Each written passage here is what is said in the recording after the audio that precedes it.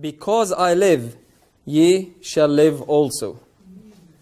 Because I live, ye shall live also. I'm sure most of us know where this is uh, taken from. But after telling his disciples that he he's, he's going to go, he will go away and send them the Comforter. Jesus in John chapter 14, come with me to John chapter 14, he tells them something. John chapter 14, beginning at verse 18, and Jesus said, I will not leave you comfortless, I will come to you. Yet a little while, and the world seeth me no more. But ye see me. Because I live, ye shall live also. Now, here Jesus is linking two events to us living also. Number one, I will come to you. That's His coming to us. And the second one is because I live. He's referring to His resurrection. So he, Jesus is referring to His resurrection and He's coming to us to this state that He calls, ye shall live also. Because I live, ye shall live also. Now, what, what, what did Jesus mean by ye shall live also? And how is this life related to his resurrection and his coming to us? For us to understand what he meant by it, we have to understand what he's talking about. What kind of life is he talking about when he says, Because I live, ye shall live also? I mean, what do you mean, Lord? I was alive. If I was among the disciples, I mean, I wouldn't help knowing me, I'm outspoken. I wouldn't help but asking Jesus, oh, What do you mean, Lord? I'm alive already. What do you mean, I shall live? I'm alive already. I believe that when Jesus said, Because I live, ye shall live also, he was not referring to their probationary life, to their physical life that everybody lives. I don't believe he was even referring to a life that begins and they will live after the resurrection, after his second coming. I don't believe that. I believe he's referring to a life that they will live that is based, related to his resurrection and his coming back. We will see, we will see more of it soon. But I want you to notice now, I'm going to read this text in context, beginning from verse 12. I want you to notice the future tense that Jesus is referring to. Beginning at verse 12 of John chapter 14. Jesus says, Verily, verily, I say unto you, he that believeth on me, the works that I do shall he do also, and greater works than these shall he do, because I go unto my Father. And whatsoever ye shall ask in my name, that will I do, that the Father may be glorified in the Son. If ye shall ask anything in my name, I will do it. If ye love me, keep my commandments, and I will pray the Father, and he shall give you another comforter, future. Now remember that the time when Jesus spoke these things, he has not died yet, right? He's still with them. And he shall give you another comforter that he may abide with you forever. Even the Spirit of truth, whom the world cannot receive, because it seeth him not, neither knoweth him, but you know him, for he dwelleth with you and shall be in you. Future. I will not leave you comfortless. I will come to you. Future. Yet a little while, that is future. And the world seeth me no more, but ye see me. Because I live, ye shall live also. Future. At that day, that's verse 20. At that day, ye shall know that I am in my Father, and ye in me, and I in you. At what day? At the day that I go unto the Father, that the other Comforter comes, at the day when He will come, He shall be in you, the Comforter, at the day when I come to you, and at the day when ye shall live. In that day you will know that I am in the Father, you in me, and I in you. All right, so this type of life that Jesus was talking about begins on the day when He comes to us, when the Comforter comes to us. In that day, when He, the Comforter, is in you, when I will come to you, when I will be in you, in that day, you will know. And in that day, because I live, ye shall live also. We'll see more of it now. So he was not referring to something, he was referring rather to something they did not have as of yet, but they shall have. Right? They did not have it, but he told them, Look, yet a little while from now, because I live, ye shall live. He will come in you, the Comforter. I will come to you, ye shall live also. Jesus was talking about something that is to happen in the future. Now notice that not everybody will receive this thing or person or whatever it is, we'll see later that he's talking about, which he calls a comforter. He says, the Spirit of truth, whom the world cannot receive. So you, as a believer of Christ, you will receive something that Jesus calls a comforter that the world does not have and cannot receive. Yes? All right, I want you to keep that in mind because we will refer to it later. Now, the comforter that Jesus was talking about, this life that Jesus was talking about, I would like to put to you that this was not available before he died, rose, and went to his Father. I'll repeat that. What Jesus was talking about, the Comforter or the Spirit of Truth, was not available to anybody before Christ died, rose, and went to his Father. Why do I say that? Come with me to John chapter 7, beginning at verse 38. John chapter 7, beginning at verse 38. He that believeth on me, as the scripture has said, out of his belly shall flow rivers of living water. John commenting now and he says, But this spake he of the Spirit, which they that believe on him should receive, for the Holy Ghost was not yet given, because that Jesus was not yet glorified. So when Jesus said, if you believe on me, you will receive something that out of your belly will flow rivers of living water. John tells us, okay, what Jesus was talking about, and he was referring to the Spirit that will be given, because that Spirit is not yet, has not yet been given, because Jesus was not yet glorified. Now, I acknowledge that the word given there, the Spirit was not yet given. The word given is in italic. That means it's added. But the meaning is clearly implied in the text. It says the Spirit was not yet, because Jesus was not yet what? So the giving of the Spirit is dependent on what? The glorification of Jesus. The Spirit would not be given until Jesus is glorified. Come with me to John chapter 16, another text that says similar thing, but from a different angle. John chapter 16.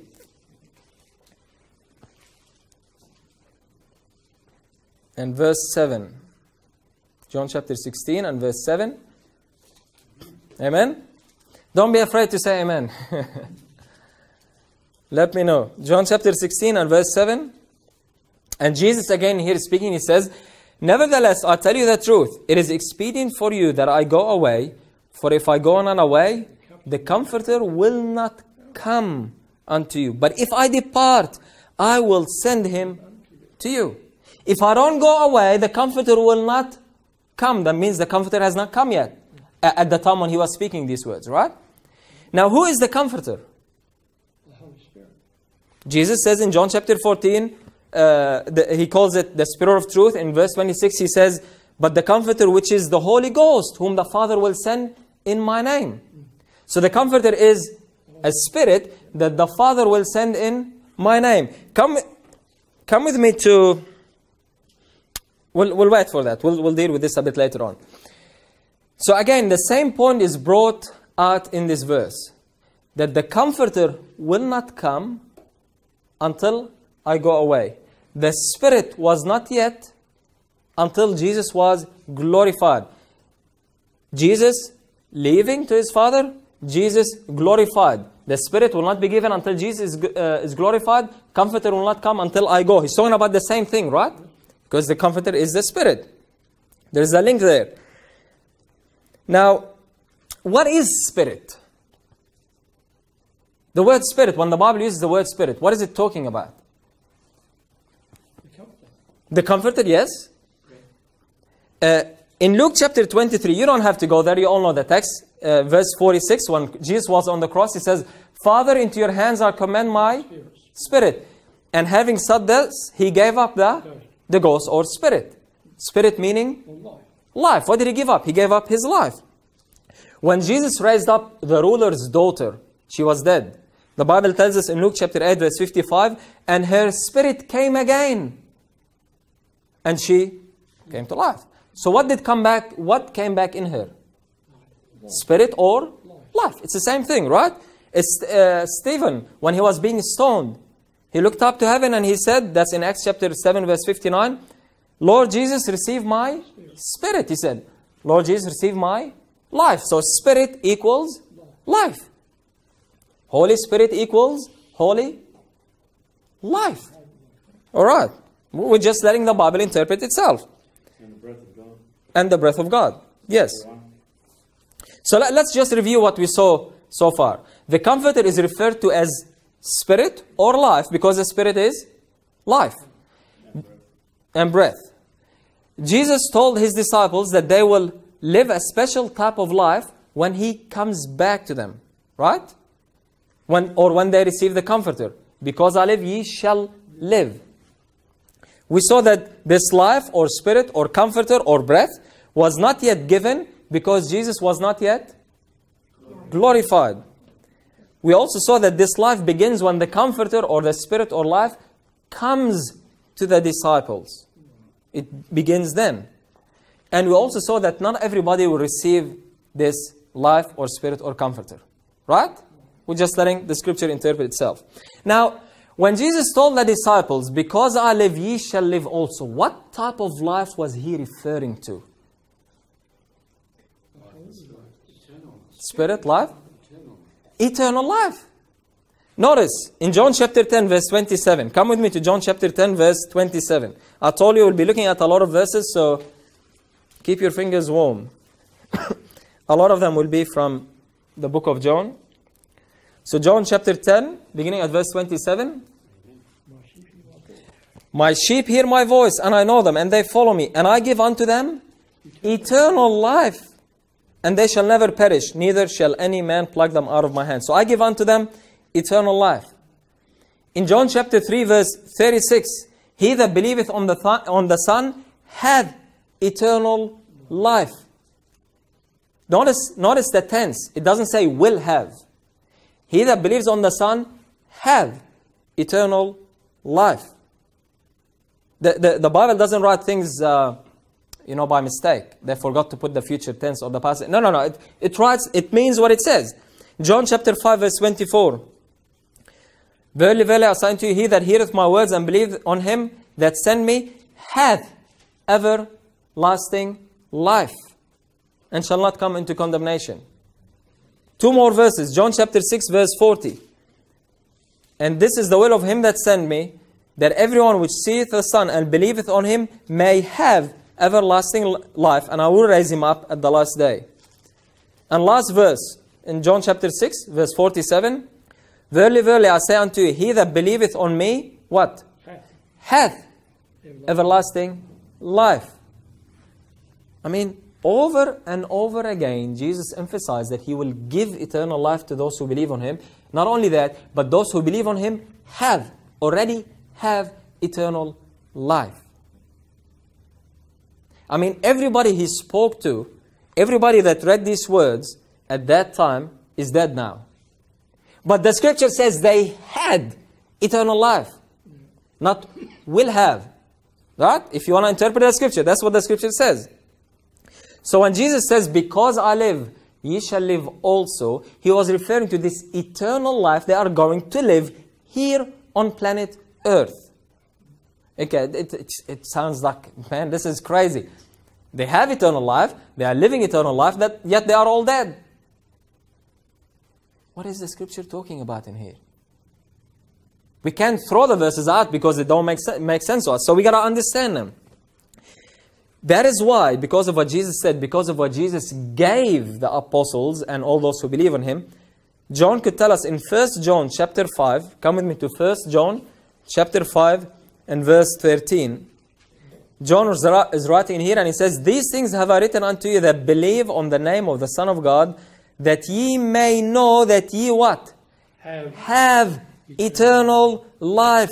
And the, that ye may know, that ye may believe on the name of the Son of God. I mean, it can't get any clearer, right? I'm writing these things unto you, John says, you who believe on the name of the Son of God, so you can know something. I want you to know, I want you to understand that you have eternal life. Okay. So now we understand what type of life Jesus was referring to when he said, I will give you life, and because I live, you shall live. We know it's talking about eternal life. But the question that I'd like us to look at, few questions actually, is number one, do we really, literally, receive something from the outside in, from outside of us, that we did not have before when we believe on Jesus? Yes. Do we really literally? That's number one. Number two, and if we do, what or who is that spirit that we receive? What or who is that spirit that we receive? And number three, how is all this related to Jesus' resurrection, going to the Father in glorification and coming to us? Because he said, unless I go to the Father, the Comforter cannot come. He's, the Bible tells us that the Spirit was not yet because Jesus was not yet glorified. So this life that we are living now is uh, very related to His death, resurrection, going to the Father, glorification, and coming back to us. It's all related to his statement, I will not leave you comfortless, I will come to you. Amen. We'll get to that. You're going to make my sermon very short. All right. Now, the first question is first Do we really, literally receive something from outside of us that we did not have before and that the unbelievers do not have? Or is it just a metaphorical thing? I believe that we literally receive someone or something, we'll look at that later, when we accept Jesus. We literally receive from outside of us something or someone we did not have before.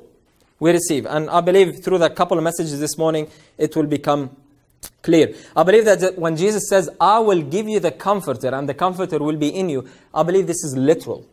It's not metaphorical. I believe when Jesus said, I will come to you, and when he said, I in you, I believe this to be literal, not metaphorical. Okay? Now, this was clearly demonstrated on the day of Pentecost.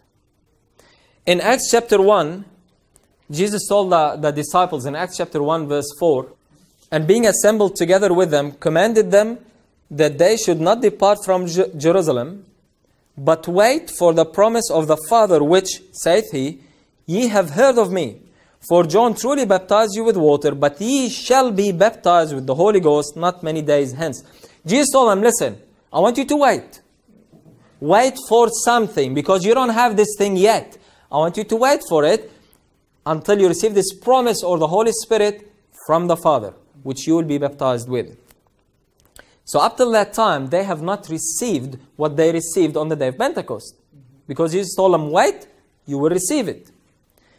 A few days later, in Acts chapter 2, beginning at verse 2, we read, And suddenly there came a sound from heaven as of a rushing mighty wind, and it filled all the house where they were sitting. And there appeared unto them cloven tongues like as of fire, and it sat upon each of them. And they were all filled with the Holy Ghost or Holy Spirit, and began to speak with other tongues as the Spirit gave them utterance. Now, God demonstrated the reception of the Holy Spirit physically for a reason. He physically showed that they received something from outside in.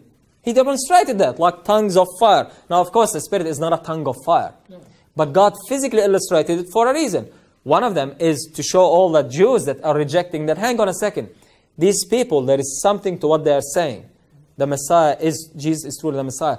But another reason is for us today to understand, to comprehend that when you receive the Spirit, you receive something from outside in. You don't already possess it. And it just transfers from one part of your body to another. No, you receive something from outside in. Okay? Another story is in Acts chapter 19. Acts chapter 19, beginning at verse 2. That's Paul was going and he met these uh, 12 missionaries that they were preaching. And Paul in verse 2, he asked them, he said unto them, Have you received the Holy Ghost since ye believed? And they said unto him, We have not so much as heard whether there be any Holy Ghost. Jump to verse 5. When they heard this, they were baptized in the name of the Lord Jesus. And when Paul had laid his hands upon them, the Holy Ghost came on them, and they spake with tongues and prophesied. So here we see again God demonstrating this, that they received something from outside in. I mean, there are many other stories in the book of Acts, but I just used two to demonstrate that when people received Jesus, they received something or someone from outside in. Literally. Right? Now, why am I emphasizing this point? It's because I want us to understand that when Jesus said the Comforter will be in you, He meant that we literally will receive something or someone in us. Amen. It's not a metaphorical thing. It's not just some, it's not a metaphorical. It's literally, Jesus said, the comforter shall be in you. He said, I in you. And many other verses that we'll see later. So literally, something or someone will come from the outside in. So the answer to our question is yes, we do receive somebody, someone or something from outside in. Now this leads us to the second question. Who is this spirit that we receive? Because we receive the Holy Ghost, right? We receive the Spirit of truth. We receive the Comforter. Well, who or what is this? Who or what is the Spirit of truth?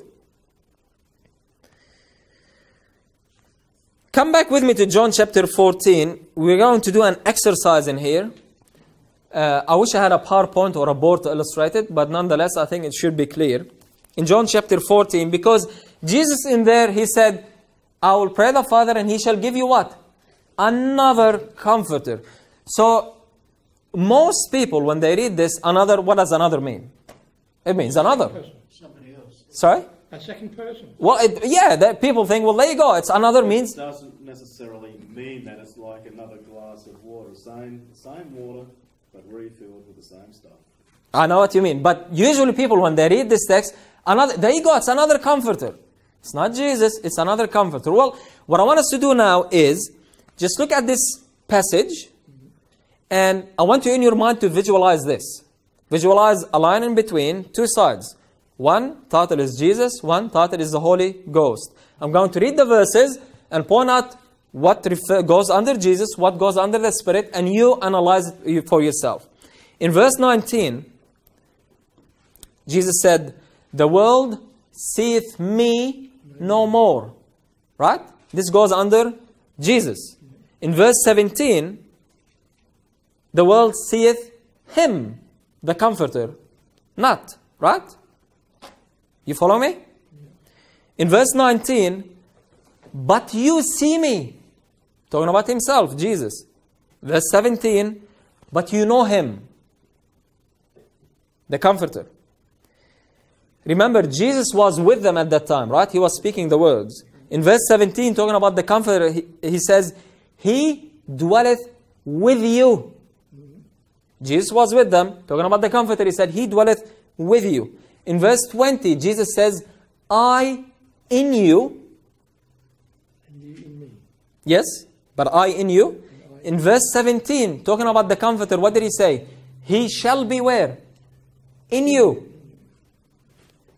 In verse 18, Jesus says, I will come to you. In verse 16, talking about the Comforter, Jesus says, I will give you another Comforter. And in Matthew 28 19, we don't have to go there, we all know the text. Lo, I am with you always, even unto the end of the world. In verse 16 of John 14, talking about the Comforter, He may abide with you forever. I mean, if you just do this exercise, you put a list there, you will see that Jesus was talking about Himself in a third person.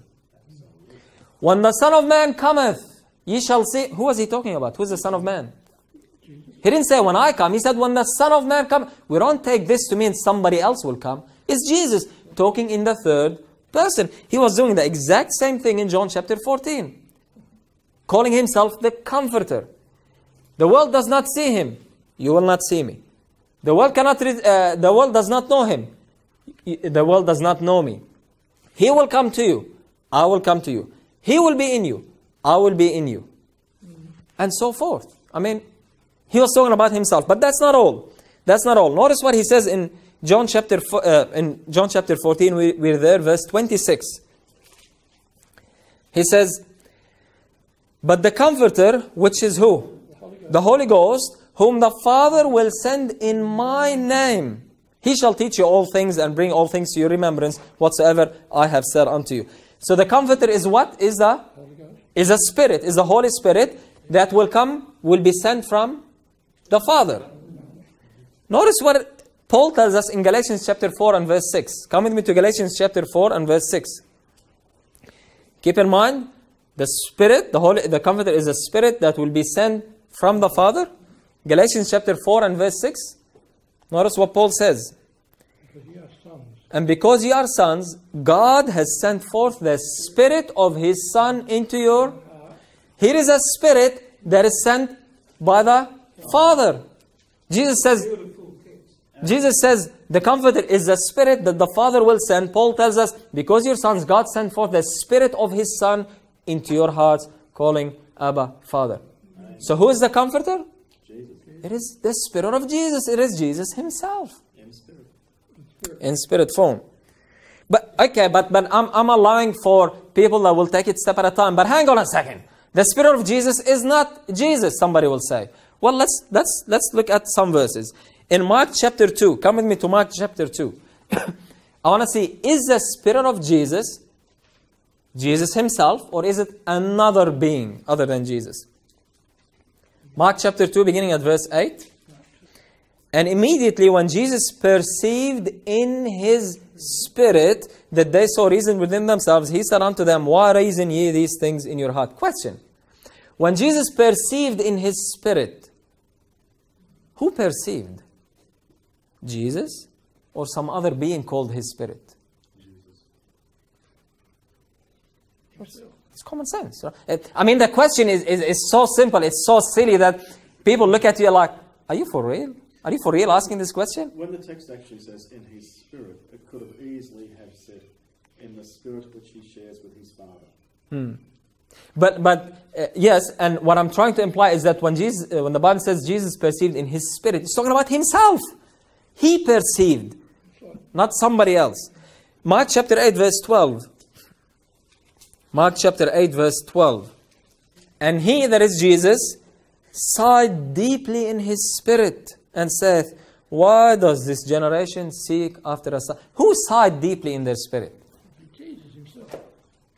So when, when, when we read in these texts about His Spirit, that is Jesus' Spirit, we clearly understand, nobody questions, that is Jesus Himself. When Jesus says, Father, into your hands I commend my Spirit, did He commend His own life Himself into the Father? Or some other being, some other person? Himself. Himself. All right. So when the Bible says His Spirit about Jesus, Jesus' Spirit is referring to Jesus Himself.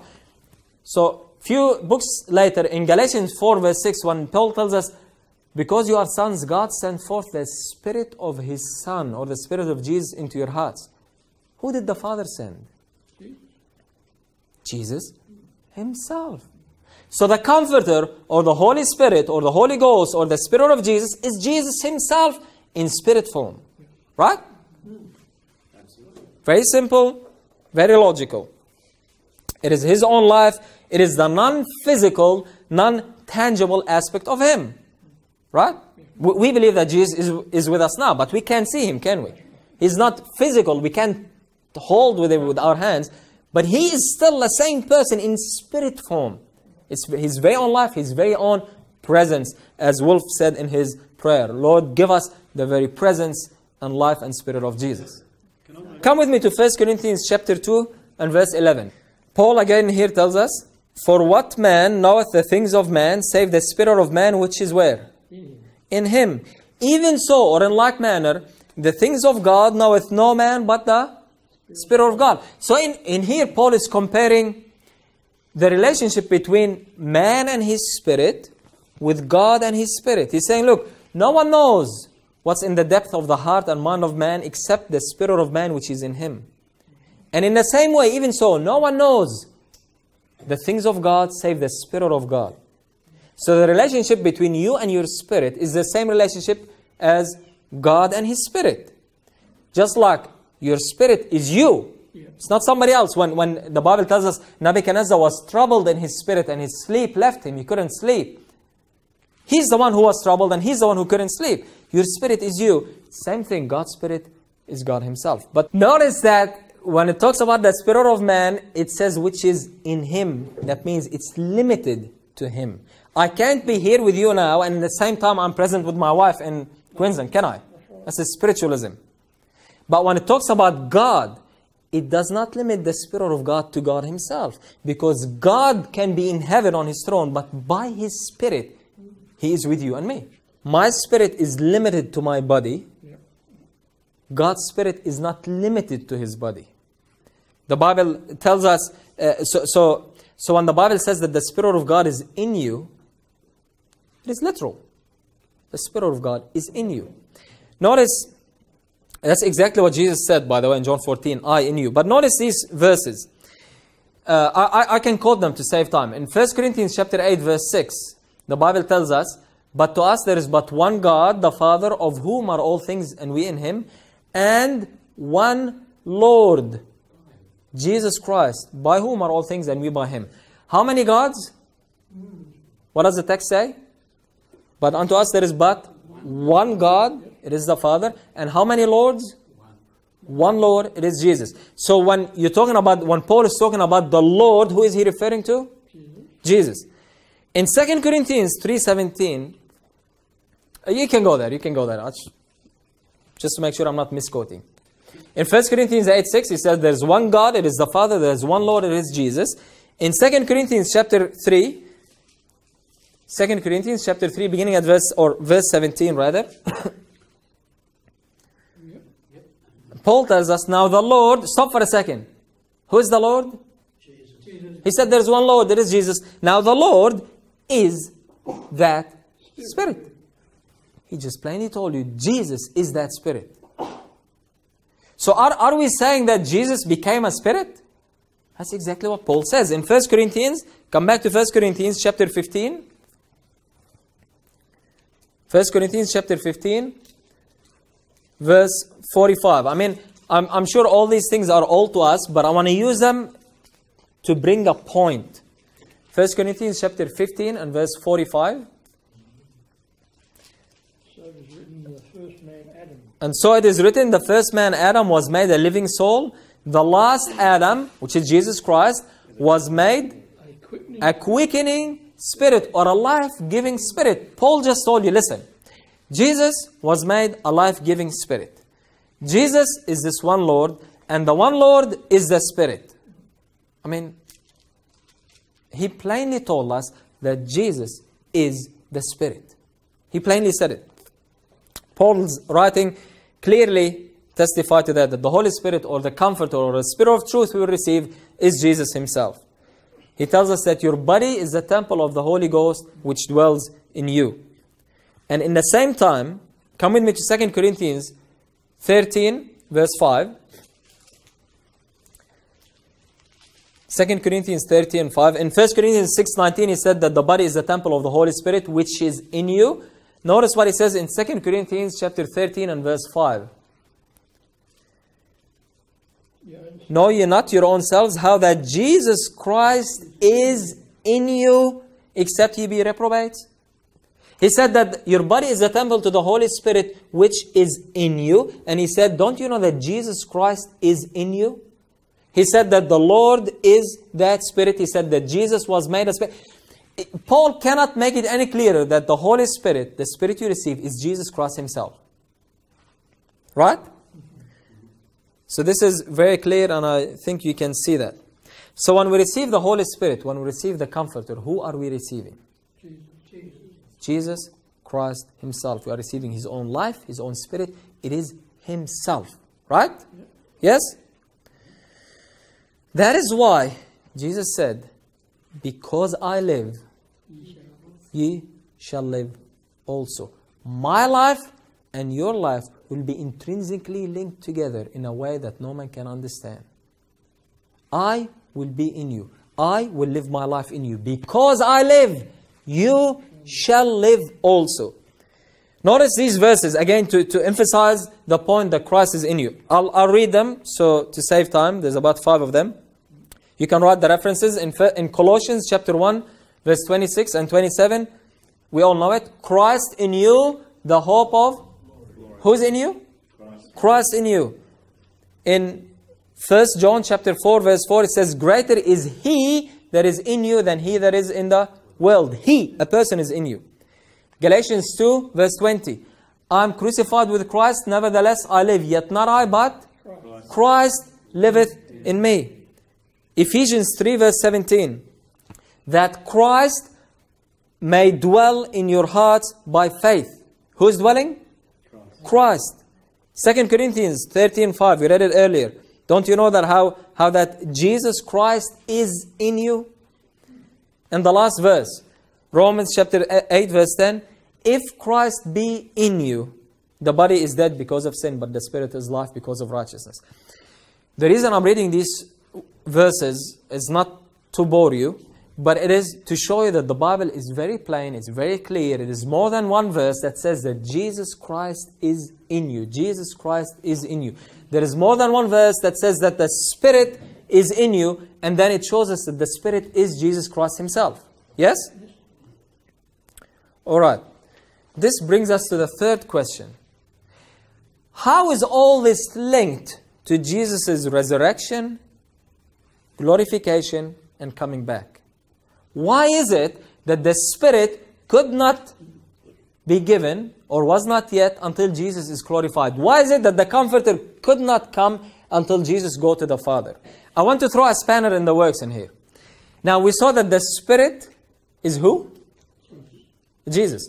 And the Spirit was not yet until Jesus was glorified. So in other words, I'm saying that Jesus himself, the life of Jesus, could not be in you until Jesus was glorified, right? Notice this verse. First Peter, come with me to First Peter chapter 1, beginning at verse 10. Of which salvation the prophets have inquired and searched diligently, who prophesied of the grace that should come unto you, searching what or what manner of time the Spirit of Christ, which was In in them did signify. Whoa, hang on a second, brother. You just said that the Spirit of Jesus, the Comforter, the Holy Ghost, could not be given until Jesus was glorified. That's after the cross.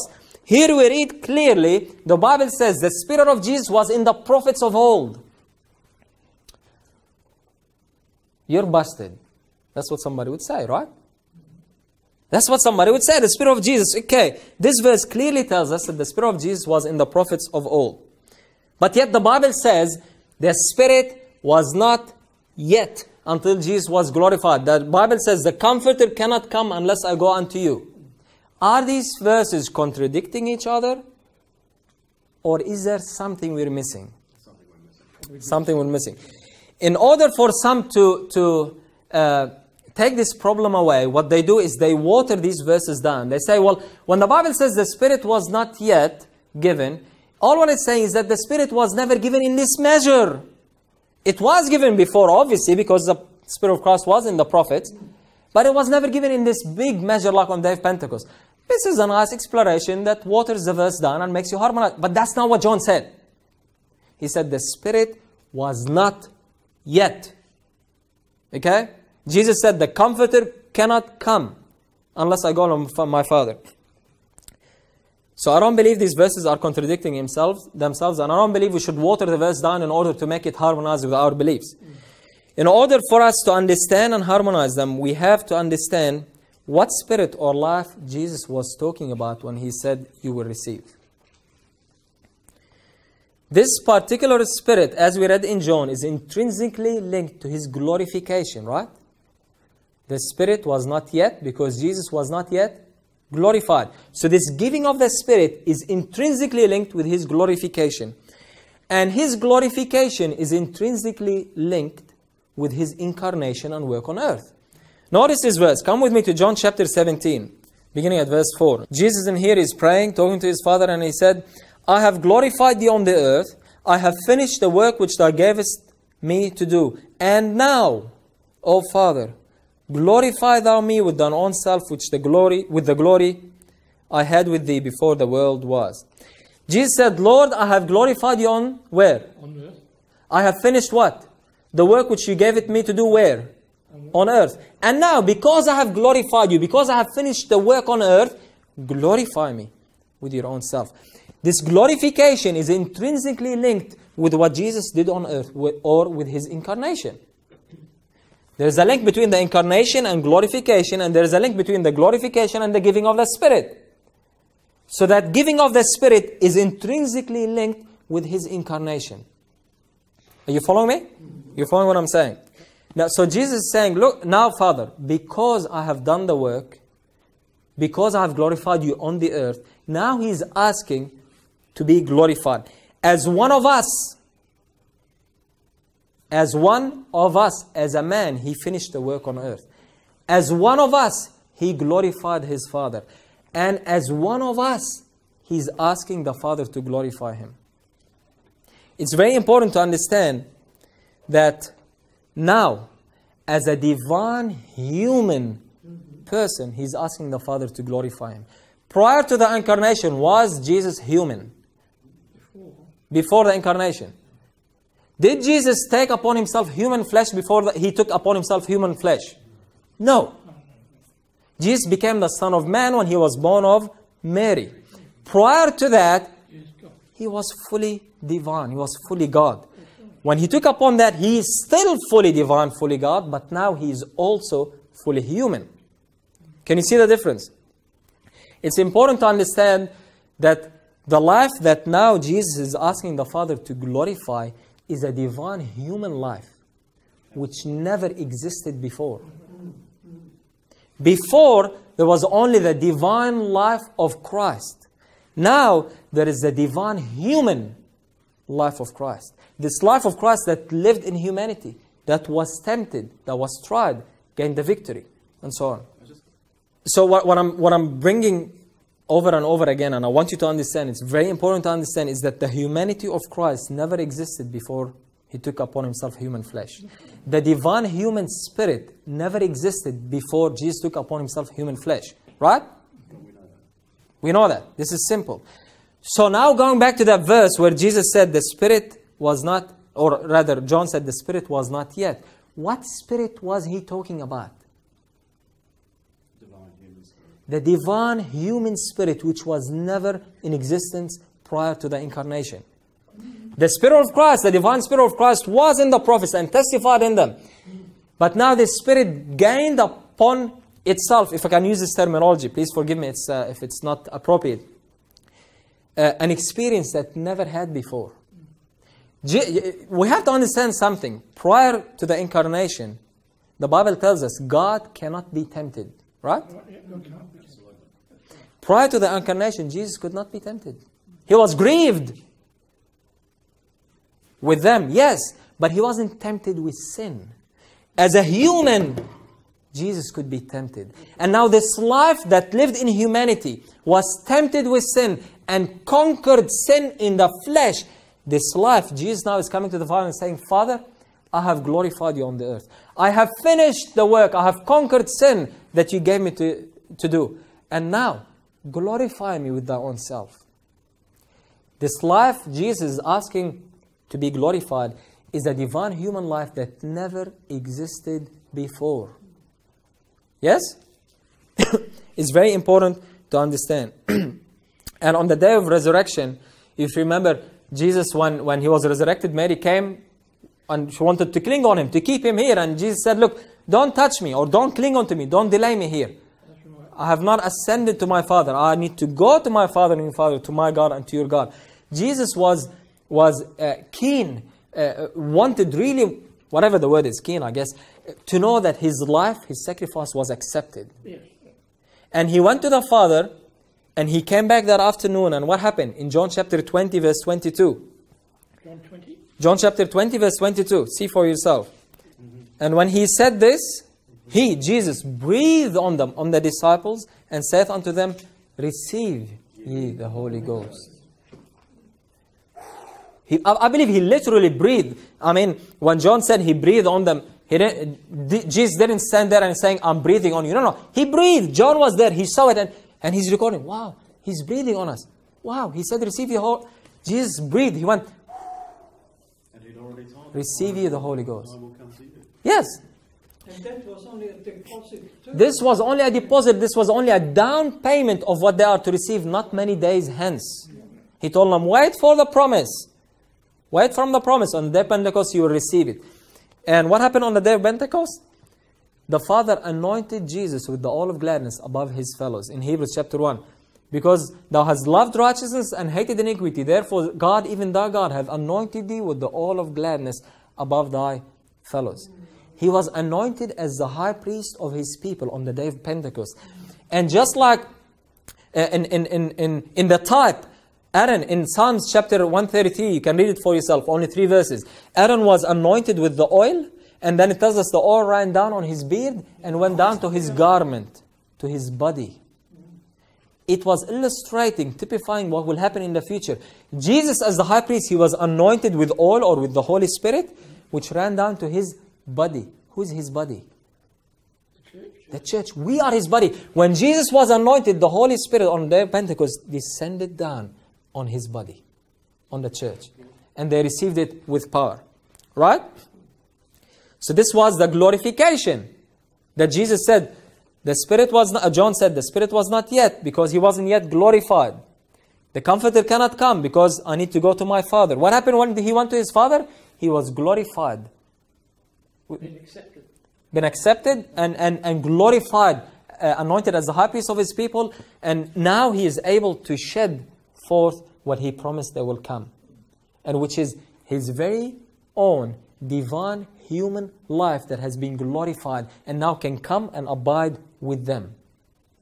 Yes? This harmonizes how Jesus, Spirit of Jesus, could be in the prophets of old, yet John says the Spirit was not yet. Because they're talking about almost, we can say, two different types of spirit or life. The divine Spirit of Christ, this is the divine human Spirit of Christ. That was tempted, that was tried, that gained the victory, victorious, that died, that conquered death, conquered sin and conquered death and broke the grave and came out. And Jesus says, Here it is. Take it. And another beautiful point of that is because the Spirit is shared with Jesus' experience as well. Yes, we'll, we'll look at that in the second in the second time, in the second presentation. You're right. But but Jesus, be, he was, you know, he, he co- conquered sin, conquered the grave, conquered death, and he came and he says, Here it is, you can have it. And that's why Jesus says, Because I live, you will live also. Yeah? Live what life? You will live my life. I will give you my life. I will give you my own presence. That's why Paul tells us in 2 Corinthians, come with me to 2 Corinthians chapter 4. 2 Corinthians chapter 4, beginning at verse 10. Always bearing about in the body the dying of the Lord Jesus, that the what? The life also of Jesus might be manifest in our body. For we which live are always delivered unto death for Jesus' sake, that the life also of Jesus might be made manifest in our mortal flesh here on this earth. You are going to receive this eternal life, this very divine human life of Jesus Christ, and you are going to live it on this side of the second coming. Here, right now. This is glorious. What life is Paul talking about that we're going to live and manifest? It is the divine human life of Christ. It is the eternal life. It is the eternal life that we're going to live. Question When Jesus was on earth, when the disciples handled him and touched him and saw him, what life did Jesus have? He's living a human life, Human life, but what type of life? Come with me to First John. a sinless life at the time. First John, come with me to First John. I want to focus on one aspect of it, so we don't open a, a can of worms and go into that. Uh, let's stick on this one. First John, chapter one. Remember, b- before you read this, uh, in in John chapter one, we all know this. John says, "In the beginning was the Word." And the Word was with God, and the Word was God. The same was in the beginning with God. Go down to verse 14. It says, And the Word was made flesh and dwelt amongst us, and we beheld it. We beheld the glory of the only begotten of the Father, right? Keep that in mind as you read the same author, John, in his first letter, 1 John chapter 1, beginning at verse 1. He says, That which was from the beginning, which we have heard, which we have seen with our own eyes, which we have looked upon, and our, our hands have handled of the word of life. Who is he talking about? Stop for a second. He's talking about Jesus. Who did they see and handle with their own hands? Who was that from the beginning, which was the beginning? He's talking about Jesus Christ. Right? Notice what he says in verse 2. For the life was manifested, and we have seen it, and bear witness and show unto you that eternal life which was with the Father and was made manifest or was manifested unto us. Can you see what he's saying? In the beginning was the Word. That which was from the beginning we have seen. The Word was made flesh and was manifest unto us. That which we have seen and handled and was manifested unto us. In John chapter 1, it says, In him was life. In here it says, That eternal life which was with the Father was made manifest unto us. We saw it. Who is he talking about? Talking about Jesus Christ. Jesus. And he calls Jesus eternal life.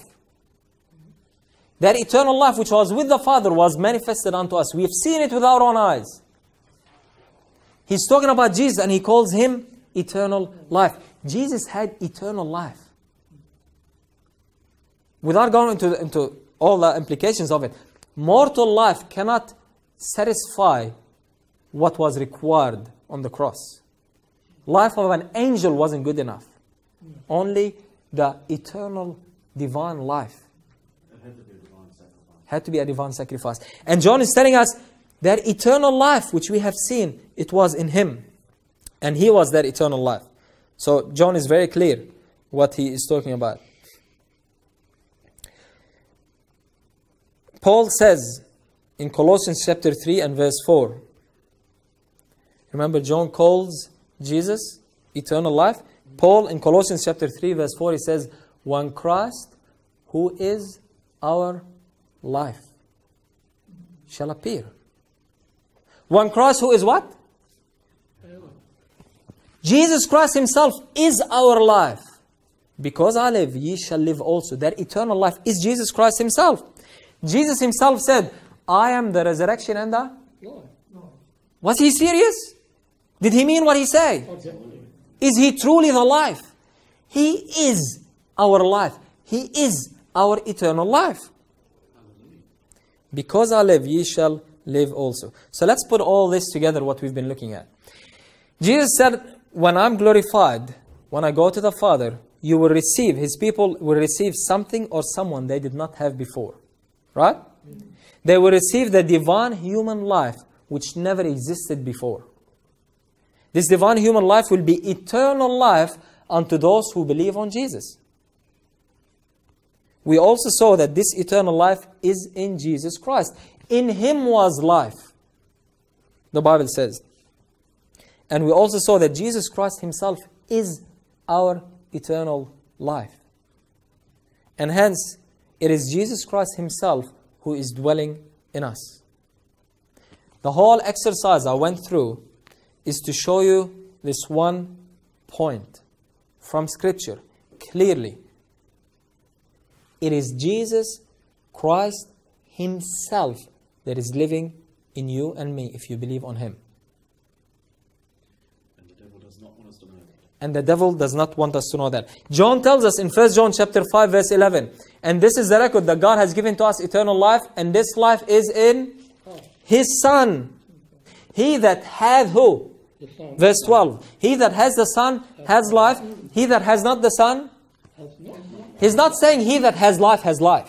No. He's not saying he that has power has life. He's not saying he that has words has life. He's saying he that has the Son has life. And the- the- if you don't have the Son If you don't have the Son, you don't have life. don't have life. I wa- I want you to get this very solid, very clear. If you have the Son, you will have life. If you have a life without the Son, you don't have life. If you have the words of God without the Son, you don't have life. If you have power of God without the Son, you don't have life. He that has the Son. Why? Because life is in Him. Why? Because He is our eternal life. They're inseparable. You cannot separate it, your eternal life from Jesus. Right? In him was life, and the life was the light of man. So the life that Jesus laid down in humanity on the cross, the divine human life, the victorious divine human life, he takes up again and he gives to humanity. I have come that they might have life and that they might have it more abundantly. That very life that Jesus lived died, conquered sin, conquered the grave, and came up, Jesus picks up and he gives to each and every one of you. That's why John can say, Listen, I'm writing these things to you, you who believe on the name of the Son of God, so you can know something. I want you to know, I want you to be sure that you already have eternal life. Why? Because you have an eternal being living in you. You have a divine being living in you without the physical form, of course. We saw that the Spirit is Jesus Himself. You have Jesus Himself living in you, who is eternal life. So, I just want to re echo it again and again and again. When you accept Christ, you receive someone from outside of you, someone that you did not have before. You don't only receive life, you don't only receive power, you don't only receive the words of God. No, you receive a being, Jesus Christ Himself in spirit form. He comes and lives in you. Christ in you, the hope of glory. And because you have Christ, he that has the Son has what? Life. Because you have Christ, you have life. So my prayer is that we will grasp it, understand it, believe it, and live it. So that the point, the one focal point I want you to get from this whole message is that Jesus Christ Himself is in you.